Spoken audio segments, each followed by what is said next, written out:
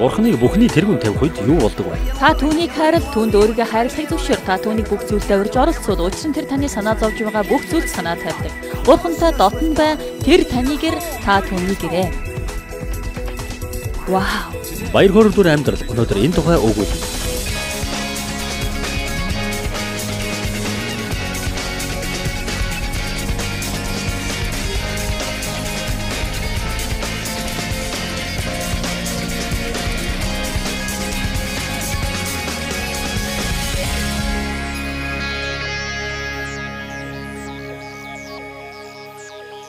Баяр хөөрөөр дүүрэн амьдрал нэвтрүүлэг тавтай морилно.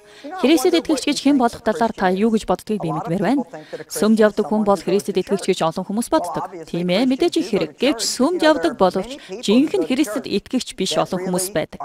Мичиган мужийн Детройтоос хүргэж байгаа энэ хүн нэвтрүүлгээс та энэ сэдвийн талаар илүү ихийг олж мэдээрэй. Есүс шинэ урсгал бий болгохын тулд бидний төлөө өгөөгүй. Хүмүүс надаас та ямар шашинд итгэдэг вэ гэж асуухад би дургүй.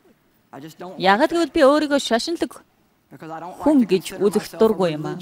Би Есүс Христээр дамжуулан Бурхантай ховчлон харилцдаг. Сүсэгтээ хүн болгон Христэд итгэгч гэсэн үг биш ээ.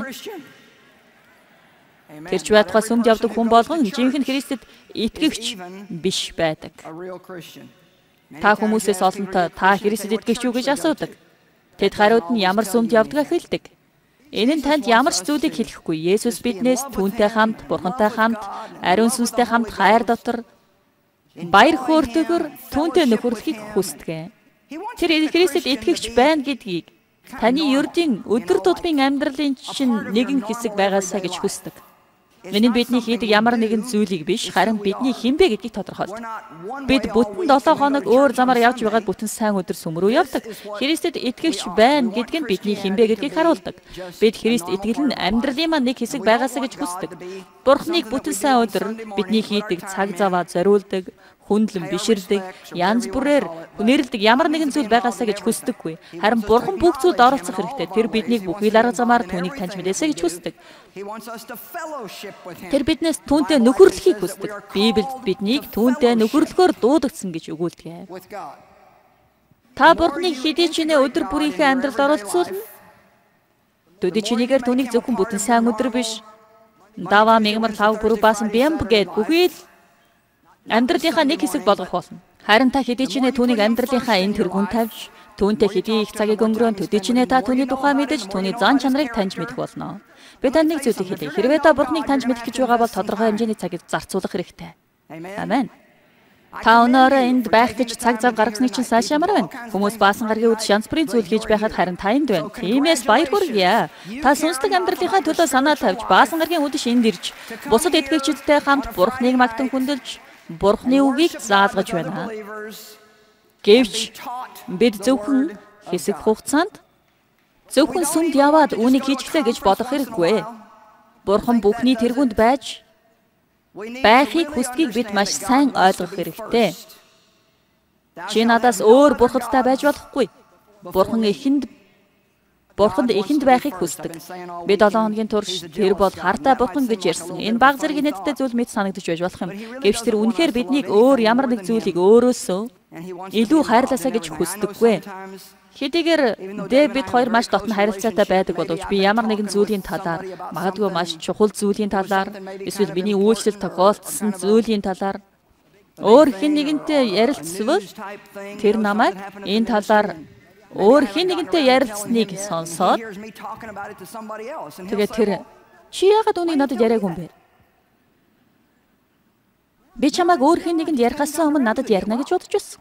А эсвэл би түүнийг ямар нэгэн зүйлийн талаар өөр хэн нэгэнд ярьсныг сонсох юм бол чи яагаад түүнийг надад яриаг юм бэ? Гэж хэлгэсэн. Тэгэхээр та харал та бид ойр дотор харилцаатай учраас би түүнийг надад хэлээгүй чухал зүйлээ өөр хүмүүст хэлээсэй гэж хүсэхгүй. Тэр ч бас намайг түүнд хэлээгүй зүйл чухал зүйлээ өөр хүмүүст хэлээсэй гэж хүсэхгүй. Энэ бол бурхан юу мэдэрдгийг харуулж байгаа өчүүхэн жишээ юм аа. Тэр биднээс өөрийнх нь тухай бодож өөртөө нь ярилцаасаа гэж хүсдэг. Эндээс бидний олж авдаг нэг ашиг тус бол тогтвортой байдал юм. Бид сэтгэл хөдлөлийн хувьд илүү тогтвортой болдог.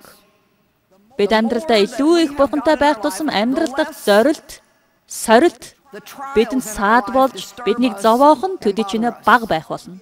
Би нөхцөл байдал дажгүй бүх зүйл сайн сайхан байх үе дээшилж харин бүх зүйл эсрэгээр байх үе доошлдог нэг тиймэрхүү Христэд итгэж байхыг хүсдэггүй. Таны бүх тамир тэнхээ барагдсан байсан ч тогтвортой байх хэрэгтэй. ертөнцид чадах чинээгээр гэрчлэгч байхын тулд бид тогтвортой байх хэрэгтэй. Таны амьдрал тааламжтай бус зүйл тохиолдоход та нэг л янзаараа байх нь хүмүүст олон зүйлийг өгүүлдэг. Дуулал 91-ийг хамгийн дээд нэгний халахвчнд оршигч нэг нь. Би энэ хэсэгт дуртай.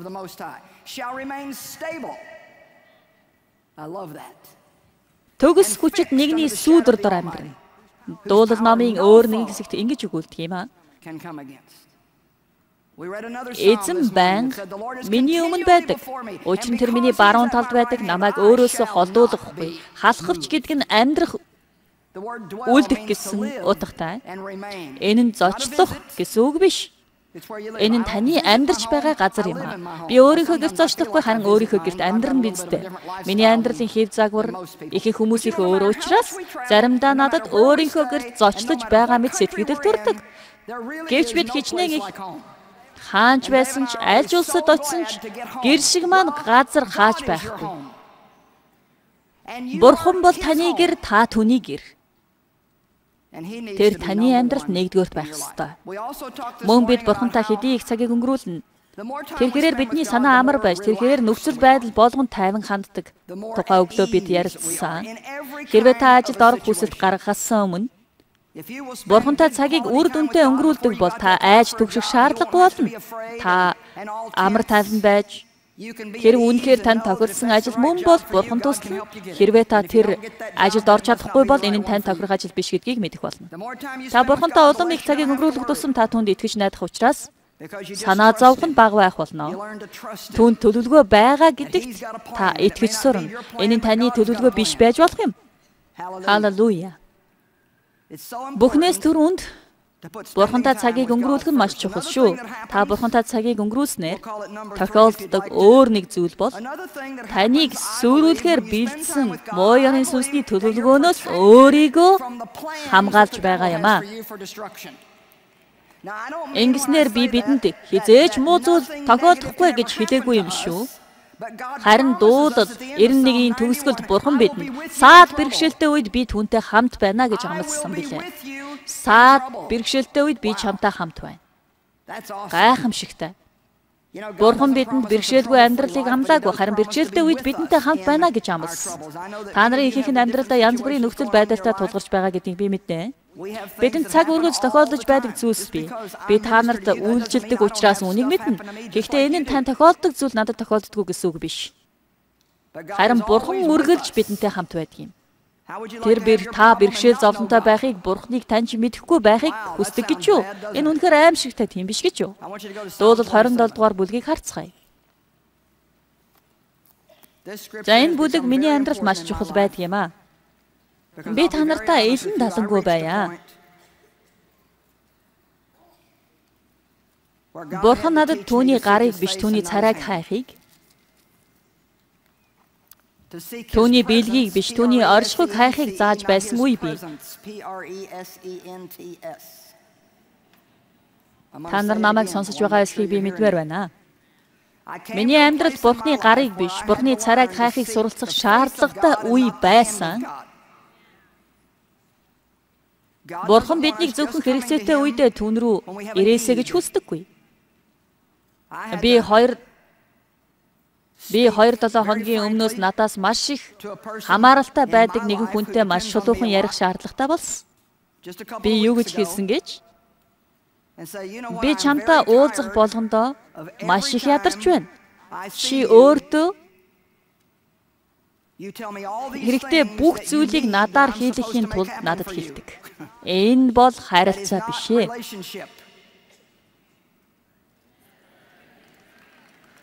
Энэ бол харилцаа биш гэж би түүнд хэлсэн. Заримдаа би багч гэсэн харилцахыг хүсдэг. Би тэр хүн рүү уцтаад Сайн уу? Би чиний тухай бодож байлаа. Би чамд хайртай гэж хэлхийг хүсдэг. Тэдэнд ямар нэгэн зүйл хэрэгтэй болох үед л надтай холбогддог байх ёсгүй. Би тийм харилцаанд дургүй. Цаашид надад тийм харилцаа байхгүй байх болно. Би хэрвээ хүмүүст ямар нэгэн зүйл хэрэгтэй болохгүй л бол надтай ярьдаггүй. Иймэрхүү нэг талын харилцааг би хүсдэггүй. Бурхан ч бас бидэнтэй ийм харилцаатай байхыг хүсдэггүй юм аа. Тиймээс бурхантай харилцаж эхэлж байгаа ямар ч Христэд итгэгч хүний амьдралд нь хэрэгцээ байгаа учраас ийм зүйл олонтоо тохиолддог. Энэ зүгээр зүйл ээ. Бурхан таны хэрэгцээг өөртөө харилцах харилцаа руу татгаж ашиглаж халамжхаараа баталж олон зүйлийг хийж өгснөөр танд хайртай гэдгийг харуулах болно.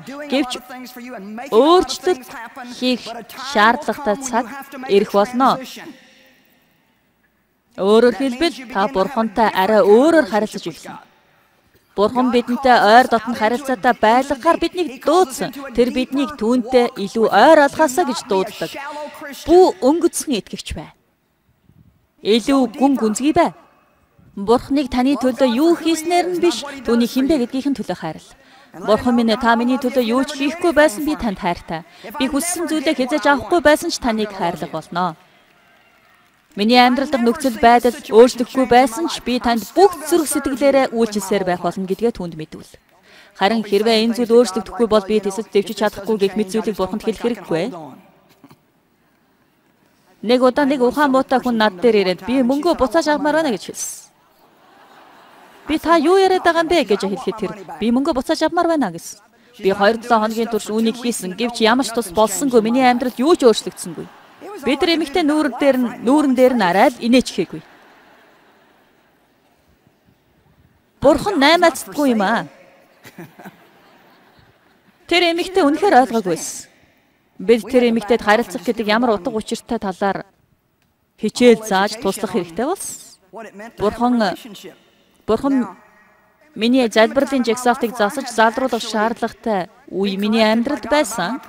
Бурхан надад чи Паулын залбирлыг, Есүсийн залбирлыг судлаач, тэд хэрхэн залбирч байсныг ажиглал. Тэдний залбирлыг өөрийнхөө залбирлын жагсаалттай харьцуул үзээч гэж хэлсэн. Би Эфес, Колосе, Филиппе номуудаас Паулын залбирлыг судалж байх үедээ өөрийнхөө амьдралын жагсаалтаас маш их ишиж үйтэй.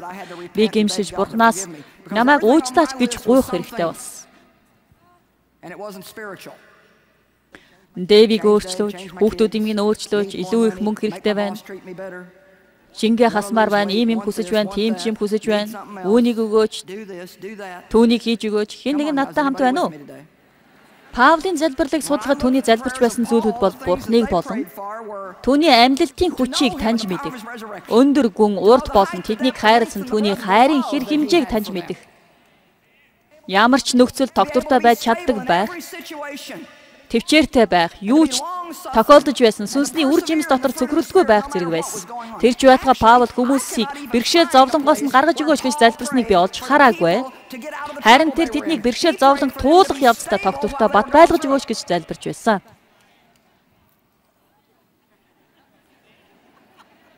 Охоо, хинч хашгирахгүй байх чинь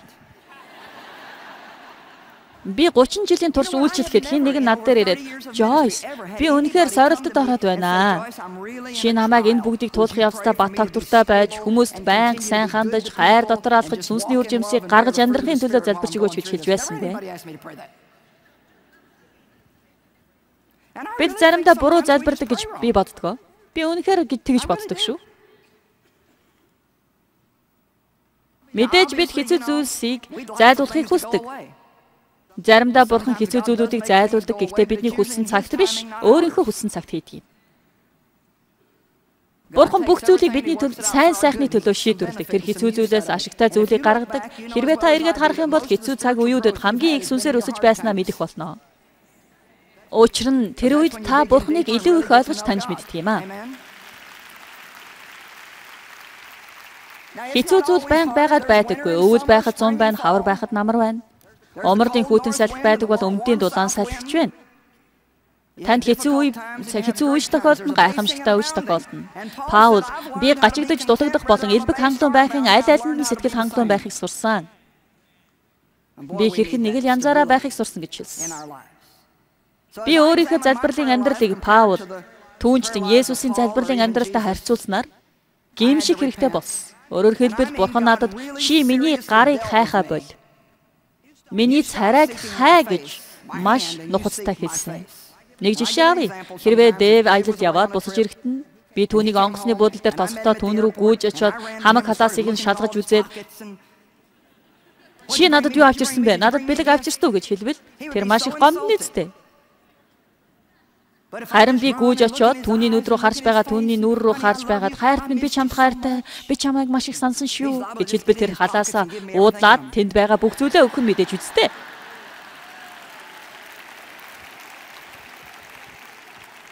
Бурхан биднийг өрөөхийг хүсдэг. Харин тэр биднийг өөрсдийнхөө төлөө ямар нэг зүйл хийлгэхийн тулд түүнийг ашиглаасаа гэж хүсдэггүй. Бурхан намайг баг зэрэг шалгаж байлээ. Энэ зүйл олон жилийн өмнө болсон. Би нэг хичээл заалгах хэрэгтэй болсон юм. Тэгээд тэр намайг зөвшөөрөл өгөх хүртэл чи надаас өөр зүйл битгий гуугаарай. Миний чамаас сонсохыг хүсэж байгаа зүйл бол Бурхан минь та надад хэрэгтэй байна. Надад өөр зүйл хэрэггүй, та л надад хэрэгтэй байна. Өнөөдөр энэ байшинд э, сэрүүн хүн байна уу? Энэ бүгд таны тухай юм шүү. Түүний дотор бид амьдарч хөдөлж байдаг. Бүх зүйл түүний дотор эхэлж бүх зүйл түүний дотор төгсдөг. Бүх зүйл түүний төлөө түүгээр түүгээр дамжуулан түүнд байдаг. Түүнд алдарна байгаа. Амен. Надад ингэж залбирч эхлэхэд маш хэцүү байсан. Яг л хоолон дээр торсон загсны яс шиг бурхан минь надад зөвхөн та хэрэгтэй байна гэдэл. Харин сонирхолтой нь юу байсан гэж бурхан энэ 6 сарын турш миний төлөө бусад үеүүдээс илүү их зүйлийг хийсэн гэж би боддог. Учир нь Библи хэрвээ та нар Түүнийг тууштай хайх юм бол тэр бидэнд зүрх сэтгэлийн маань хүслийг өгнө гэж хэлсэн. Бурхан таны Бурхан таны зүрх сэтгэл байгаа зүйлсийг мэддэг. Хэрвээ та түүнийг мөшгөж түүний царайг хайх юм бол түүний гар дэлгэгдэх болно. Ингэснээрээ таныг Бурханаас ямар нэгэн зүйл гуйж болохгүй гэж хэлж байгаа юм биш. Харин тэр надад нэг зүйлийг заахын тулд миний амьдралд үүнийг хийсэн юм. Би түүний бэлгийг бэлэг биш. Харин түүний оршихуйг хайх хэрэгтэй. Бурхны оршихуй бол үгчилбэл түүний царай гэсэн утгатай юм аа. Тиймээс оршихуй гэдэг нь Бурхны царайг хайх, түүнийг таньж мэдэх гэсэн утгатай юм аа. Тэр үед Бурхны надад өгсөн Библийн бүлгүүдийн нэг бол дуулал 27 дугаар бүлэг 3 дугаар ишлэлд Давид Төмөн цэргүүд намайг бүслөвч миний зүрх айхгүй. Миний эсрэг дайн гарсан ч энэ бүгдийн дунд би итгэлтэй байх болно гэж хэлдэг. Тиймээс Давид миний амьдрал юу ч болсон байсан эсвэл хинч миний эсрэг байсан хамаагүй би итгэлтэй байх болно гэж хэлж байна. Дөрөвдүгээр ишлэл тэрээр эрен хаах ёстой нэг л зүйлийг эзнээс гуйснаа өгүүлж байна. Учир нь эзний гоо сайхныг харж түүний сүмд бясалгахын тулд гэж байна. Нэг л зүйл. Нэг л зүйл. Хоёр биш, гурав биш, дөрөв биш, Би эрен хаах ёстой нэг л зүйлийг эснээс гүйсэн. Эрж хаах гэдэг үг ямар утгатай болохыг та мэдэх үү? Хүссэн болох мөшгөх бүх хүч чадлаараа араас нь хөөцөлдөг. Та Бурхныг хэр их хайн эрен хайдаг вэ? Библиэд миний Иесус танаар сангаж байна. Сангасан буг ус хүсхийн адил би Бурхныг эрен хайж байна. Өгдөө эртлэн босоод таныг хайх болно. Шүн дөлөөр орон дотрооч би таны үгийг тунгаан бясалгана гэж өгүүлдэг. Энэ нь бүтэн сайн өдрийн өглөө 45 минут эсвэл энэ цагаас ч илүү их хугацаагаар тэгж байгаа мэт надад санагддаг. Би үүнийг зөвхөн таны сайн сайхны төлөө төдийгүй бүх дэлхийд даяар яг одоо энэ нэвтрүүлгийг үзэж байгаа. Бурхантай дотн харилцаатай байхын төлөө хүссэн хүлээж байгаа сая сая хүмүүсийн сайн сайхны төлөө хэлж байгаа юм шүү. Та өөрийнхөө хүссэн хэмжээгээр бурхантай ойр дотн байж чадна. Харин тэр таны хамгийн сайн найз, тэр таны амьдралд хамгийн түрүүнд байх ёстой гэдгийг би танд хэлмээр байна. Та зөвхөн тэдэд сандарсан үедээ бурхан руу гүйж ирээд түүний товчийг дарах биш. Харин та түүнийг хайрал, түүнд өөрийгөө хайрлахыг зөвшөөр. Та түүнийг бүх зүйлдээ урьж оролцуул. Учир нь тэр таны санаа зовж байгаа бүх зүйл санаа тавьдаг юм аа. Бурхантай дотн бай. Тэр таныг ир, та түүнийг ир. Wow. Би өнөөдөр цуглааны дараа нэг хүнд залуу минь би анх энэ зүйлийг олж мэдэх үедээ ямар их сэтгэл хөдлөж байснаа санаж байна гэж ярьсан. Та нарын зарим нь эдгээр зүйлийг аль хэдийн мэддэг болсон. Тиймээс энэ нь таныг сэргээж танд дахин сануулж байгаа хэрэг юм аа. Гэвч энэ зүйлийн талаар хизээч сонсож байгаагүй хүмүүсийн хувьд, үүнийг мэдэхгүй хүмүүсийн хувьд энэ нь босоод байшин тойроод гүмээр болгодог. Та бурхан надад уурлаагүй байгаа. Тэр надад хайртай болов гэж бодож байна уу? Тэр надтай харилцаатай байхыг хүсдэг. Би хаан ширээний өмнө зоригтойгоор очиж ямар ч үйл түүн бүх зүйлийн талаар тэр чудгаа үснийхээ талаар ч ярьж чаднаа.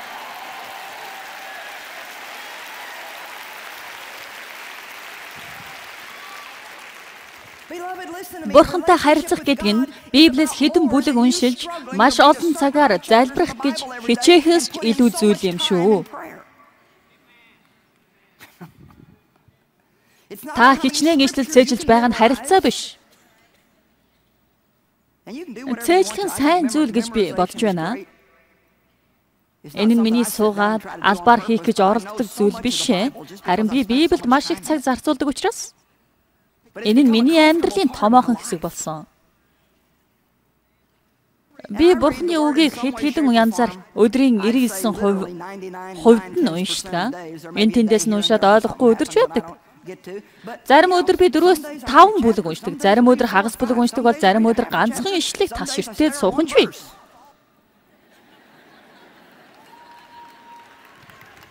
Та Бурхны дургийг хүргэх бүх тогтсон дүрм журмаас салах хэрэгтэй. Маш олон хүмүүс иймэрхүү шашинлаг үзэл санаатай байдгийг би мэднэ. Магадгүй бурхан яг одоо танд туслахын тулд ном ашиглаж болох юм гэдгийг хэлмээр байна. Би 16 дугаар зууны зүйлс болон бурхантай хамт гайхамшигтайгаар алхаж байсан Зарим агуу хүмүүсийн тухай унших дуртай. Та оюун санааны тэмцэл, би болон миний том ам зэрэг Joyce Meyer-ийн номыг эсвэл яг одоо танд маш их тус болж байгаа ямар нэгэн номыг уншиж байгаа байхаа. Гэтэл надад тулгарч байсан зүйл танд тулгарч байж магадгүй. Та суугаад бурхантай нөхөрлөх цаг гаргаж байх үед Таны зүрх сэтгэл нөгөө номоо авч уншихыг хүсэх боловч таны хуулийг баримтлагч тал үгүй шүү чи эхлээд Библи унших хэрэгтэй гэж хэлж байж болох юм. Тийм ээ, надад хэлж ийм зүйл танд ч бас тохиолдож байна уу?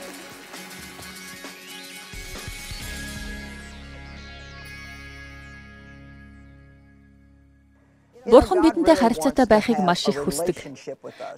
Харин нэг талын харилцаа гэж байдаггүй. Тэр таныг түүнтэй цагийг өнгөрүүлж хийж байгаа бүх зүйлдээ түүнийг оролцуулаасаа гэж хүсдэг.